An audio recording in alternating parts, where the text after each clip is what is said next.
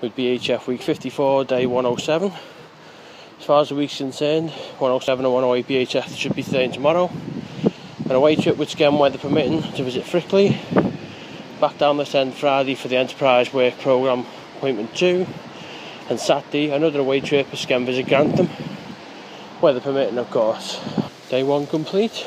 Weather's just as bad as it was this morning. Bit of rain, bit of wind. Day 2 back down here tomorrow morning.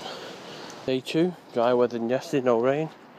Hopefully Tuesday's a two-parter. We've got BHF week 54, day 108, and weather permitting, a trip to Frickley tonight. BHF week 54, day 108 complete. And sadly, so is day 2 of this week. It was like Saturday, where it was nice weather-wise for the majority of the day. The game was called off. Same today. The away trip to Frickley cancelled due to a waterlogged pitch. So at the moment there's two chances for Skem to play left in November.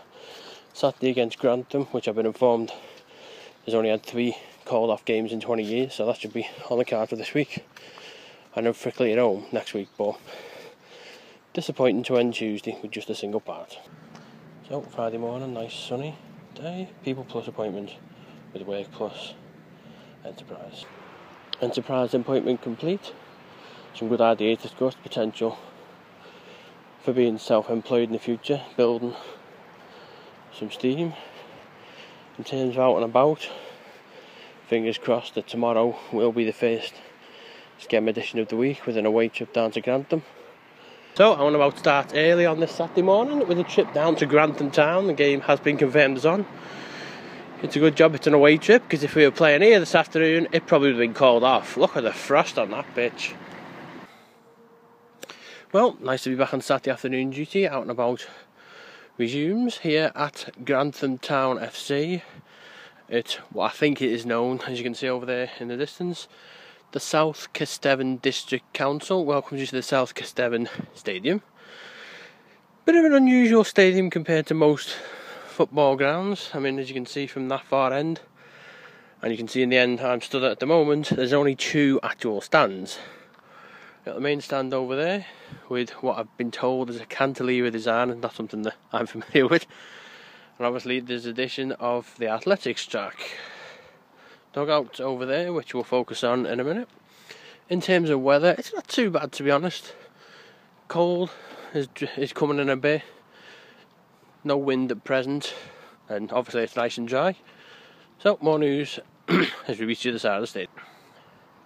So on the opposite side of the stadium here, which you got the dugout. It's a bit of a strange one to be honest, because obviously if the tunnel is over there, you would expect the dugout and the tunnel to be on the same side of the pitch. In this case, it's a little different. You've got the terrace here. Massive terrace, to be honest, considering, like I say, it's an MPL side.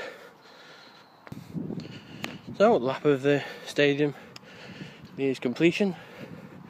It's back over by the main stand here. Can see why Grantham said last week they've only had three games called off in about 20 odd years because if it does rain, there's a lot of open space for it to dry in. This afternoon's programme, a reasonable price of £2, a very nice design as well. So let's have a quick walk up to the upper stand. Wow, this is a lovely view. Shame you can't film from up here. A sign for no standing. Tell you what though, lovely view that though. Kick off about 3 o'clock this afternoon. A little further down, see a bit more of the countryside. Skem team just coming out to warm up now. Team for this afternoon for Skem, Fearing, Jeffries, Old, Smith, Mooney, Grogan, Almond, Strickland, Hazeldine, White and Wall, Inslow, Foy, Riley and Hodkinson. For Grantham, Preston, Wild and Story, Bachelor, Galinsky, Meadows, Clifton, Lewis, Bartoloth. The two shores up front, Lee and Luke, Andy Wright, Mike Holmesworth, Jeremiah Dasalo and Sam Persico. So, half time here at the Bears, Grantham Town nil, Scansay United no. So, full time here at Grantham, Grantham Town 1, Scansay United 1. Skem took the lead through Chad White before being pulled back. Very tasty second half. Yellow cards all over the place, really. Surprising that there was only one minute added on at the end. But a welcome point for the Blues. Still yet to win away, but four away draws this season. 20 to 9, we're back at Skem. That's out and about complete for the week. For a change, not a downer, like I say, a draw was a pretty decent result to be honest.